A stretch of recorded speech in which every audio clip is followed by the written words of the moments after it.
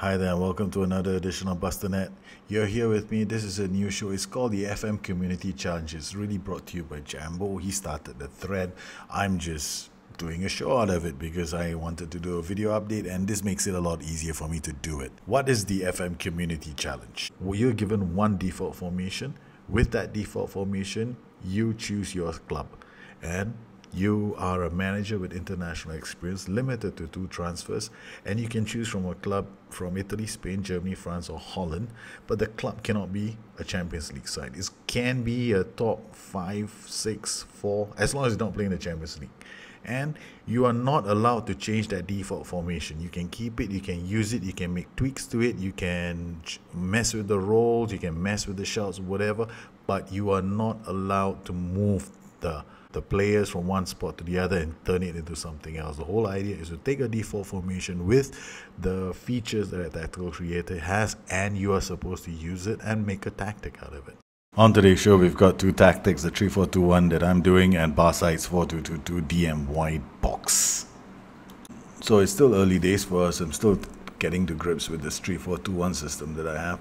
And I'm using a stopper stopper cover um, backline, and um, I'm still not entirely sure how my backline is going to be set up. So I'm still like finding my way around. And um, a couple of games will tell me whether or not I'm doing the right thing or I'm definitely getting things wrong. Uh, things I look for is um, whether or not my three backs are doing a good job defending, whether they're coming up, whether my screen is working, whether my two DMs are doing a good job, and whether my MCs are supporting the attack. Uh, in this match against Toulouse, I wasn't really very happy with the way we defended. Um, it was really a messy goal, and uh, it we should have conceded the goal. The screen should have been better. So, um, still messing with the system at the point at this point in time. And uh, one of the things that's already already I'm beginning to think of is if I want to uh, get my screen to work more effectively, I need to push my defensive lineup. This is um, something that I'm in this match, I just started to come to grips with okay, maybe with so many players in your own half, you want to get goals, and I'm beginning to get a lot of these goals happening when I start pushing up, and uh, it's it's gonna it's gonna be probably the way I will end up playing the system in the long run. The final score of this match was 1 1. Uh, Toulouse 1, Saint Etienne 1. It wasn't exactly something I was like, ah, yeah, great. But we learned a lot of things from this match. In terms of our shots and our possession, we may have had less possession, we had more shots. Um, certain tweaks are still needed to the system. Uh, yeah, okay, so we've we actually fought really hard to get back into the game, and that I should be happy about. In another game against Thun for the Europa Cup, I created shouts for an attacking system, but little did I expect a goal that would start from a throw in in my own half. The number of passes that started from Assou-Ekotto's throw in would lead to him pulling off a cross from the flank that was cleared only partially to Clement. Clerk then makes sure that the ball gets into the right spot in the box for them to score what would be a very vital goal. I was I mean, so far I've been messing about with things. The whole goal is to get my MCs forward. I think that at this point I was still like messing about with. I wasn't sure whether mentality was doing the trick or defensive line was doing the trick. But one of these is going to be critical to getting this system to work. And I believe thoroughly that the key towards making a solid system is to make sure that you get the right kind of support in attack well, this show is not all about the 3421, it's about all the other tactics. Everybody else has been sending them to me, and I'm really thrilled. I'm thankful that all of you have done it. And today's, uh, we're going to feature Barside's 4222 box system. Barsight is a very interesting system. I like the 4222 system. It's one of those um, one of those systems that has got so many guys backing the defense, and he's created several variations of the tactic. He's using two complete wing backs, and he's gone for the favorites. Uh, same players I would have chosen, Assou-Ekotto and Malcuit. And his back line, he's looks like he's uh, brought in Hilton from he, Hilton is definitely not from Saint Etienne. He's got Cohade, Selness, Cognet, and Martin. Up front, he's gone with uh, the reserve player Tannane as well as Soderlund. Uh, interesting choices. Um, it's a tactic that he is using shorter passing play out of defense, much deeper defensive line, lower tempo, prevent short goalkeeper distribution, and play much wider. My only concern here is the much deeper defensive line. I think that um, a higher defensive line is needed because then you'll be pushing the DMs a bit higher and you'll be getting the MCs more involved in the build up play in the final third. Mm, probably he's doing this because he's worried about the security in the back line. That could be it, but you never know as an outsider looking in. You'd have to be playing the game yourself so that you can understand what's going on. The only things I, I'm a bit trying to come to terms with is play much wider and shorter passing. These two shouts, they seem a bit at odds with each other. Barside is a moderator on the forums and he's going with a 4-2-2-2 system and he's had some decent results towards the end. Uh, he had a pretty rocky start at the beginning, and you can read all about it on the SI forums. I like the 4 2 2 2 system. Um, he selected to use two ball winning midfielders. The challenge with the 4 2 2 is we need to see how he does with those uh, two ball winning midfielders and how they come up to support the rest of the play. The 4-2-2-2-2 system is actually quite an old system. Um, it was used by Brazil, if I'm not mistaken. Um, and it was a pretty successful system way back in the day. Uh, here we see how he's managed to control his uh, corner kick routines. And um, Brison is quite a favorite with quite a few of the PKMs I've seen. He plays quite well in my system as well. I like to see tactics in 2D because it gives me a better shape idea of the shape of a tactic. Um, here you can see the gaps in the side, uh, the flank especially. Uh, it's the one area of the 422 that's uh, vulnerable, and um, it, quite a few. I've seen a few of his goals. They get they conceded from attacks down the flanks. One thing I noticed was how well they defend from throw-ins on the sides. At this point, I think he was still trying to come to terms with the 4-2-2 system that he was using. Okay, from this drawing, just look at how his uh, system lines up. You got this perfect two lines and through the middle, and you've got players on the flanks. And then once they start going into attack, when Ruffier has the ball, he just passes it to the fullback, and then look at the perfect line in the middle. And uh, as they go past, uh, it's a question of how well they can move off the ball.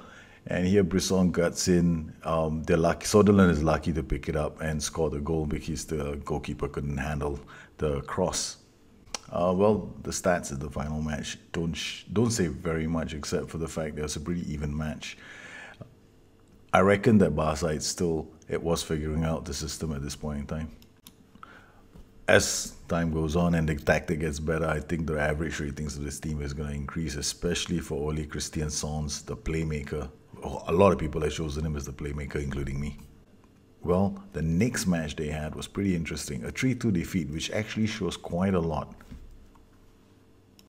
Well, like many of us, their next match was against Toulouse away. And it's interesting because uh, they lost this match. Losses actually tell you a heck of a lot more. And they played against a narrow diamond uh, with their 4 2 2 2 DM narrow system. Well, they, they scored their they scored their first goal off a throw in and it was a well worked throw in. I think a lot of goals in FM16 are going to come from throw in set pieces. And uh, Pajot, he does the same thing with me. He comes into the box and he scores like goals for us as well. The weakness of the box 4222 is obviously the flanks. And the, it's something that is going to be a concern to anybody who wants to play any kind of a system where you don't have side midfielders. Uh, Toulouse managed to equalize off Pešić in the 45th minute by exploiting the left flank and then having somebody come in and come in and score on from the right. Here, when they actually start a attack, they break down the attack, and immediately you can see again that the flanks become an issue when Miles Cute goes charging up. Braithwaite is the one scoring on the other end when the attack down the right flank fails. It's the 422 box is actually a nice system. I like it. But the biggest challenge is going to be those flanks. So if you're facing the 422 uh, against an AI, which can happen, then I would recommend seriously, you know, you, you go in with a flank heavy kind of attack, and chances are you are going to take advantage of it, provided uh, the AI doesn't use a different combination in the DM slots. Here, Brison is on the left flank looking. I actually like the movement this time around and uh, Brison is off to the flanks, and then you see one of the central midfielders already going to the box. Pajot is going up to support the fullback, and you've got Selnes in a very dangerous position. At this point in time, I'm going, wow, I like this. This is so cool. This is like, you know, how I would want my 4 2 2 2 to, to work you got to feel for Barca. You know, it's two all. You know that the the match is yours to win. He's in a beautiful position to get another goal from this throw in, and the way the opposition is lined up, it's like set up for the perfect counter, and it's like in the 92nd minute they break past the flanks and they score the winner. At this point, you know, it's really like I felt for him what I what I like to do whenever I lose a game, and I don't suggest everybody does this, but I like to break down my with ball into quarters in a whole game. So I break it down like every 15 minutes and I see how my average positions look like. This is what they look like in the first 15 minutes of the game. And then around the 19th minute where they scored their first goal. And then um, after that, you see the positions of the second and the third and the fourth and the fifth. And I break it down right through the whole match. But what's interesting to see is going to be how the opposition exploit the gaps that are apparent on the heat maps. You, know which areas of the pitch are not being covered by the players. And um, it explains a bit, to me at least, uh, on the weaknesses of the system. And if I were to face a 4 2 2 to being used by the AI, and I'll just have to look at the roles and the duties that the, they have elected to use, and then I'll just adapt. And following that uh, defeat to Toulouse, uh, they had another match after that. They had this um, 1 0 win over Bordeaux. What's very interesting is the differences in the two matches. In this match, they played a lot better. They had even possession, even though they only had two shots on target what I was more keen to see was how the team's shape looked like because this again is a narrow diamond that they're facing and look at the difference in the system right now. In a way you still have some you still have uh, zones that can be exploited but somehow or another the tactic looks a lot balanced when they did actually score that goal I'm illustrating the use of heat maps for a reason because it helps me as well a lot in how I set up my tactics. When I want to look for areas of the zone that I need to cover, what am I doing wrong, what am I doing right, how can I improve my tactic. I use this quite a fair bit in my systems, and you can see how how well they crafted the goal against Bordeaux. Their next match, a 3 0 win against Bastia, but just check this out 34% possession. But look at the shots on target, man. He's definitely done something right now. I mean, you know, I, I feel excited just looking at the stats. It's five out of six shots on target. Look at the opposition. One on target. One out of 21. One. I can't believe it.